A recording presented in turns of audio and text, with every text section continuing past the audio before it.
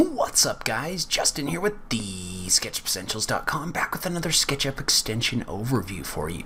So in this video we're going to continue our series on SketchUp extensions for architecture. So this is our series on great SketchUp extensions that have architectural applications. So um, if you're looking for that entire list, make sure to check that out at the SketchUpEssentials.com slash architecture extensions for all of the extensions that we're talking about in this series. Um, so I have also been away for a little while um, and I wanted to talk just a bit about that. So I've been working on a new project and uh, I just wanted to kind of give you a little bit of a teaser about that. It's probably going to be another week or two before it's ready to go. But um, basically I've been working on a project where I teach you how to use layout. So layout is one of the things I really struggled with when I first started working inside of SketchUp. So I wanted to create a course course that gives you really step-by-step -step instruction on how to go from start to finish on creating construction drawings from your SketchUp models. So that's going to be a really in-depth course. If you want more information about that, if working in layout is something that you're interested in, um, make sure you get on the list for more info when it comes out at the sketchupessentials.com slash layout course. Now let's go ahead and just jump into it.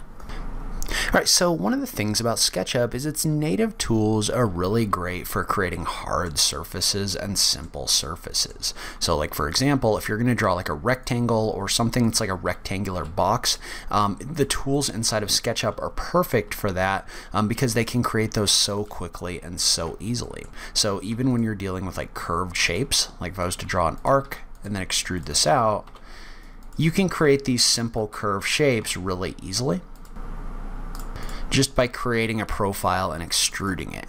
However, when you start dealing with more complex shapes, SketchUp's lacking a little bit in the ability to create those forms and surfaces. However, the extension Curviloft is a free extension from Fredo 6 that allows you to create complex skins inside of SketchUp.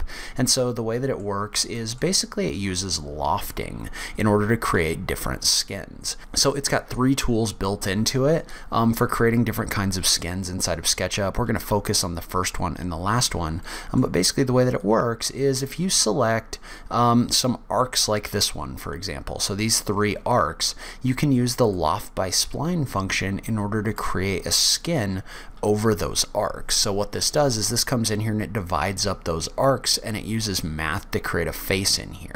And then you can also adjust the way that it uh, interpolates these as well. So you can add different lines and edges and things like that. If you want to make your faces more or less uh, complex, there's adjustments you can make in there for those things as well. And so you can also adjust the way that it figures out how to make these curves in order to kind of customize those as well. So while it would have been really difficult to create this face in here manually using this tool, it's really easy. And so that also works for closed shapes like these, where if you were to select them, you could activate the Loft by Spline tool and you could create a skin across that really easily. So, and one of the cool things about this is you can also come in here and you can adjust things like twist, and other things like that inside of this shape. So if you wanted to give this shape a little bit more of a twist, in here you could adjust this in order to do that. So this gives you options for the way all of these different um, this gives you options for the way all of these different shapes are created. You can adjust the way that uh, like the different points come in here and things like that as well. So you can see how creating a shape like this would have been fairly complicated without this tool. And so it's also great for creating surfaces. So if you have like a series of lines like this one, you can come in here with Curviloft and you can create a surface across those. So it's great for little contours or other things like like that. And uh, it's really easy to work with once you get an idea of what everything does. It looks really complicated, and when you mess around with it, it's really not that complex, but it is really powerful. So you could also use that to create shapes like, let's say you had a, some edges like this and you wanted to create a face across these, you could select this and use the loft by spline function in order to create that face across here. And you could use the number of segments in here to adjust the way that this looks. So you could really use this to create a really complex face if that's what you wanted, or you could create a really simple one in here as well. So Loft by Spline is great when you have a series of splines in a row um, or curved lines or things like that. But then there's also a tool in here which I use a lot, which is the Skin Contours tool. And so the Skin Contours tool is going to allow you to take a closed shape like this one, select it, and then add a skin across it.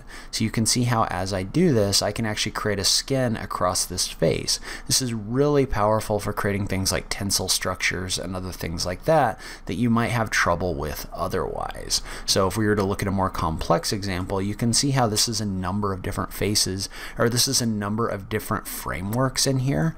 Well, we could select all of them and just run the skin contours option and you could add skins across all of these really quickly. So you can see how you could skin this out really easily using this tool.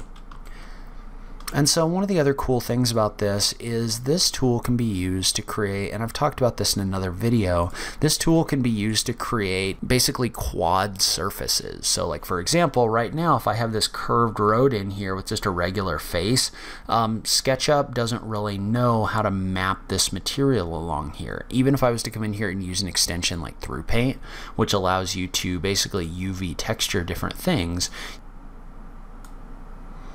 you can see how even with this UV painting texture, SketchUp doesn't really know how to texture this out.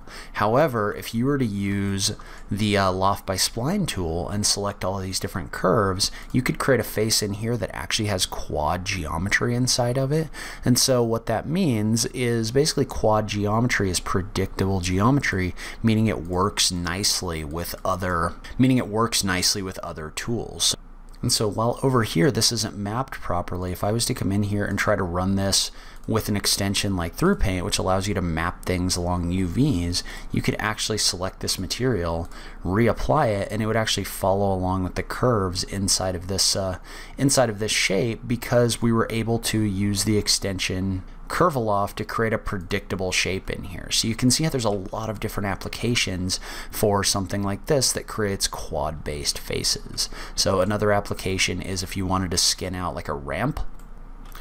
So you could also come in here with the Loft by Spline function and create a face along these different curves really quickly as well. So, and then you could adjust the way these are created by adjusting the number of segments and things like that. So you can see how creating shapes like this, which would be a little bit more complicated with, um, with a tool other than Curviloft really quickly. It can also come in here and it can create faces from shapes that merge into other shapes. So you can see how it does a really good job of coming in here and taking this base piece right here and merging it into this circle.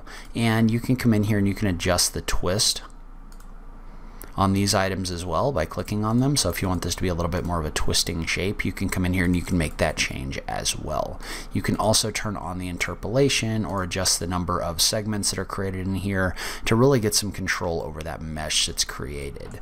And so let's say, for example, that you wanted to create a grid across these two items. Well, you could come in here and you could use Loft by Spline, but then you could adjust the interpolation in here so that you could actually add so that you could actually add like a square grid on top of this face. So um, it's very practical as well if you need to come in here and create things like this really quickly.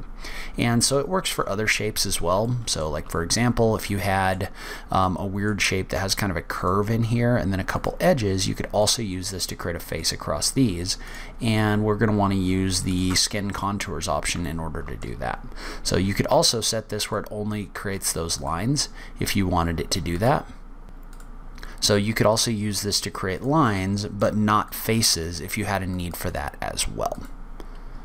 So on the surface, probably the best application for this from an architecture standpoint is going to be the creation of tensile structures. If you're willing to look beneath the surface a little bit and look at kind of what the tool can do, there's actually a lot of different things you can do with this. So leave a comment below. Let me know some of the things you've done with Curviloft. I just love having that conversation with you guys. If you like this video, please remember to click that like button down below. If you're new around here, remember to click that subscribe button for new SketchUp content every week. If you like what I'm doing on this channel, please consider supporting me on Patreon. Every little bit helps, even if it's only a dollar a month. So make sure you check out that link in the notes down below. But in any case, thank you so much for taking the time to watch this. I really appreciate it, and I will catch you in the next video. Thanks, guys.